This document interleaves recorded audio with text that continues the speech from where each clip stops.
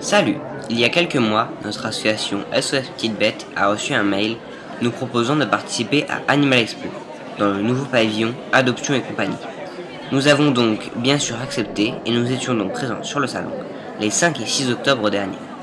C'était vraiment un week-end de fou, il y avait autour de 45 000 visiteurs. On a vu plein de personnes assez connues dans le monde animalier.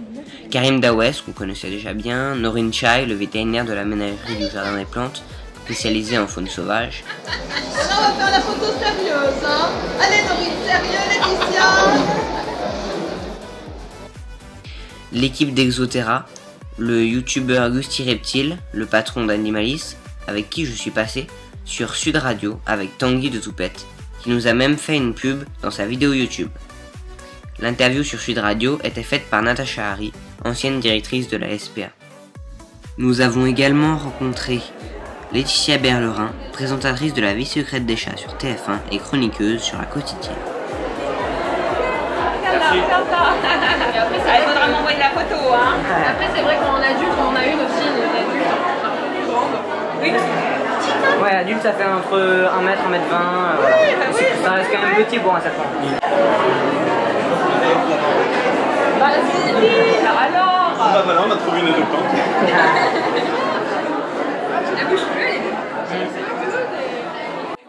Sandrine et Hadji Bouglione, des circassiens qui ont arrêté d'avoir des animaux dans leur spectacle.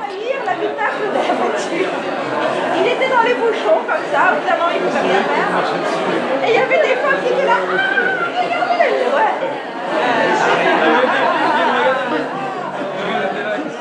La journée nous a beaucoup servi à nous faire connaître. Nos abonnés Instagram ont plus que doublé. Beaucoup de personnes voudraient adopter ou devenir membres.